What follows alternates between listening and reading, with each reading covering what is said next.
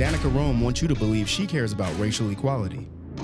Saying one thing on the campaign trail, but another prior to running. They are so black, they actually play their show out of Cell Block 4. That's a race joke. Tell Danica Roem racist jokes are not funny. Then or now. Vote no to Danica Roem this November. RSLCPAC paid for and is responsible for the content of this ad.